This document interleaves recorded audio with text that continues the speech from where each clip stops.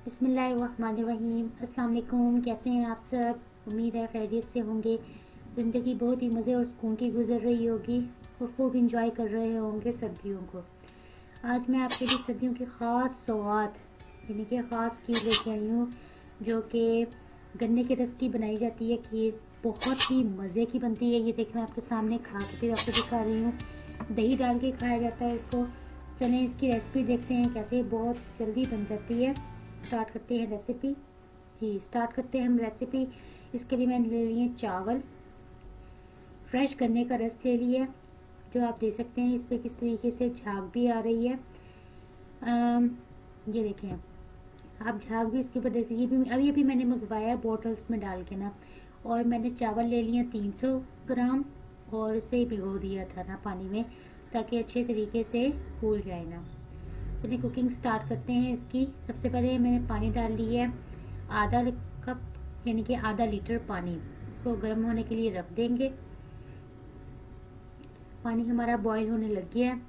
अब हम इसमें डाल देंगे नमक, जो कि है वन टेबल स्पून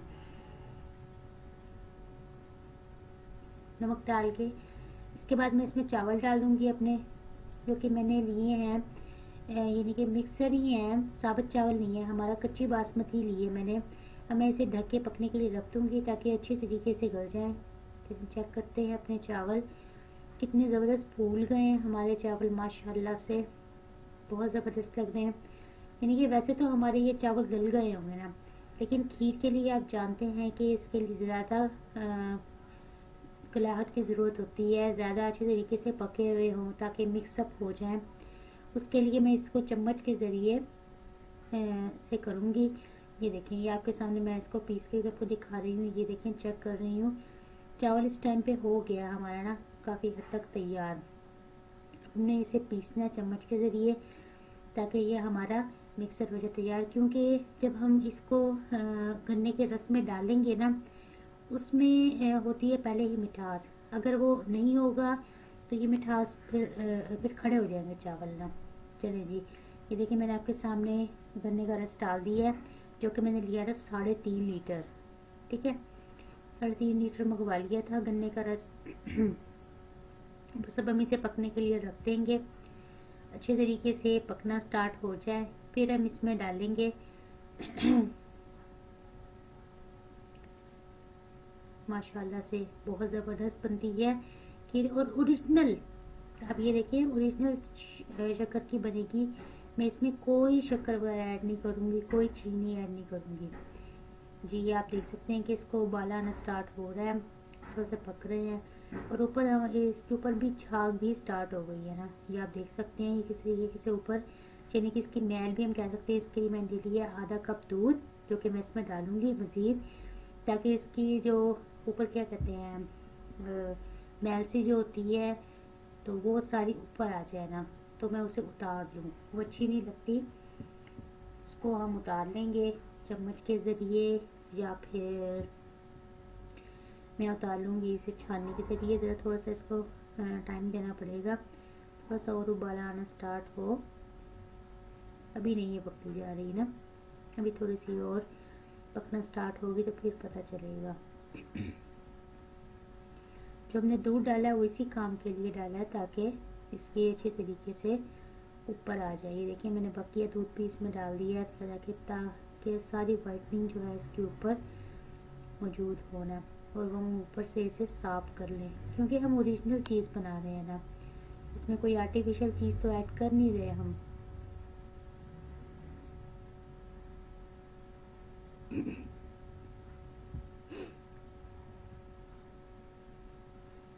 चम्मच के ज़रिए इकट्ठे करने की कोशिश कर रही हूँ मैं।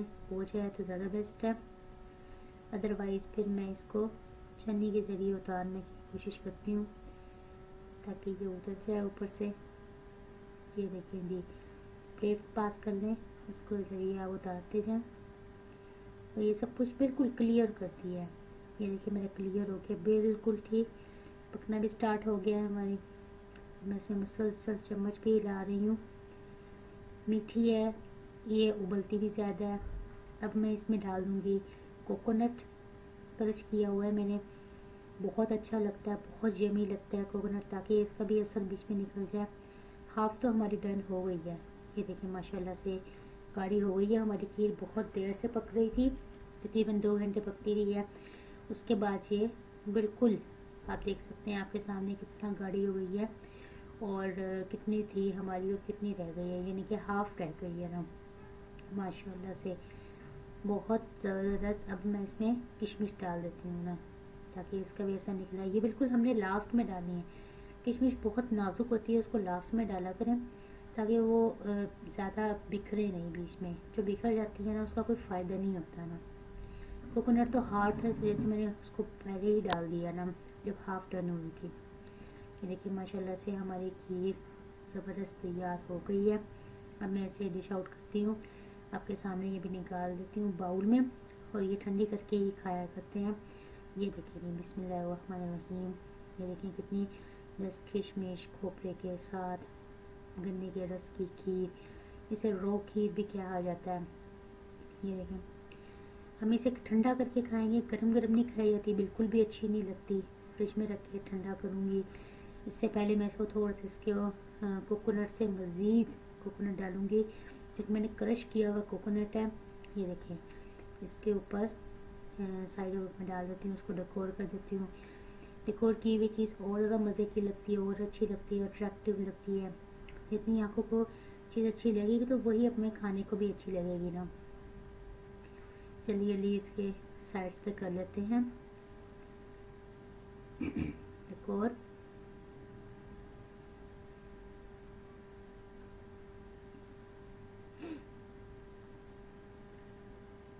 अगर आप नहीं ऊपर डेको करना चाहते तो आपकी मर्ज़ी है ना। पहले मैंने ये क्रश किया हुआ, बीच में डाल दिया था और कद्दूकश किया हुआ।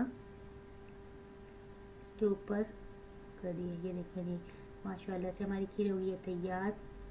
अपना फीडबैक मुझे ज़रूर दीजिएगा आपको कैसी लगी किस तरह की लगी। और मेरे चैनल को सब्सक्राइब ज़रूर किया करें। आपको मेरी वीडियोस पसंद आ रही हैं तो मेरी वीडियो को लाइक भी किया करें। ये देखें मैंने इसे ठंडा कर लिया है, फ्रिज में रख के। अब मैं इसे बाउल में निकाल लिया मैं आपके सामने इस पर दही डाल रही हूँ। दही डाल के ये बहुत ही यमी लगती है ना। आप बिलीव करें, जब आप खुद बनाएँगे खुद टेस्ट करेंगे वो बहुत मज़े की लगती है। आपके सामने इसको टेस्ट भी करूँगी।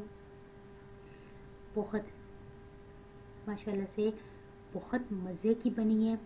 बिल्कुल ओरिजिनल ज़रूर अपनी दुआ में याद रखिएगा। ओके टेक केयर अल्लाह हाफिज़।